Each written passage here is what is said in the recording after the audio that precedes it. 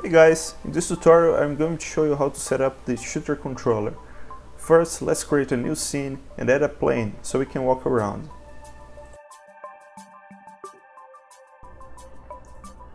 Now go to the Invector, Shooter, Create Shooter Controller. Let's find our new VBot Black Edition. Select the animator controller, in this case we will use the shooter only for this example and the shooter only for the camera too. Hit create. All the necessary components will be automatically attached into your character, such as the shooter melee input, shooter manager, the ammo manager and the head track, so we can aim up or down. It's always better to add first the ragdoll component than the other components. So let's do that now by going to Invector, Basic Locomotion, Components, Ragdoll. You can see that the automatically generated colliders are a little chubby for our model, so you can resize them to fit better into your character. But I'm not going to do that right now.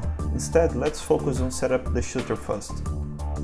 Let's add an item manager so we can pick up weapons and equip them. Go to Invector, Inventory Item Manager. Let's find the inventory prefab by going into the project folder Item Manager, Prefabs, Inventory Shooter. This is only an example of a shooter-only inventory. You can make a copy of this and customize to your own needs. Now select a item list data. An item list data is where you store all the information about your items. In this case, we need the shooter melee item list data. We add a option of filter so you can find specific items faster, so let's use the filter to shooter and ammo only. Add a weapon so we can test your controller. Hit play and equip your weapon. You can see that the weapon is not aligned properly, so let's align it to your character's hand. Go to the player inspector and find the, shoot the shooter manager. Press the button lock camera and lock aiming, so it's easier to work with the transformers. Now you will see that our character is aiming down for some reason. That's because we have an active IK working on the right upper arm. Let's fix this by aligning the default equip point of your character and not the weapon itself. Select the default equip point and rotate until you get the correct position. Now move the transform to fit into your character's hand. Copy the transform component of your default point and paste into the game object after exiting play mode.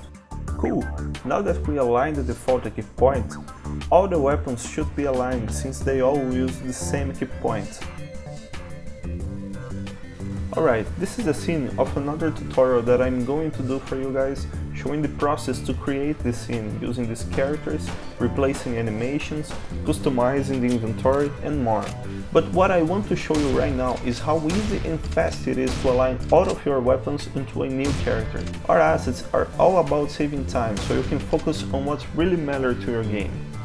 Since each model has a different rig, size and bones orientation, we created a faster solution to align all of your weapons and their IK points to each character without the need of manually aligning every single weapon.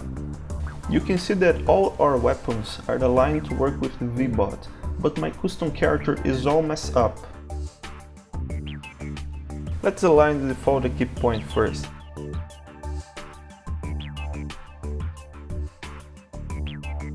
I just aligned the default equip point of our new character, but the left IK is all messed up. So let's create an offset to fix that. Go to the shooter manager and change the values until you get the desired alignment. Cool, we can see that not only the pistol, but all of your weapons are now correctly aligned with the default equip point and the left IK. We do have examples for different types of shooters in this project, like the shooter melee, where you can equip both shooter weapons and melee weapons into your character, or the shooter without inventory, so you can pick up one apple at a time by just pressing a button. Play around with the demo scenes and find out what kind of shooter you want to develop. This was just a pretty basic tutorial to cover up how to start your shooter controller. More tutorials will come covering with detail how to set up weapons, scope view, collectibles and more. See you next time!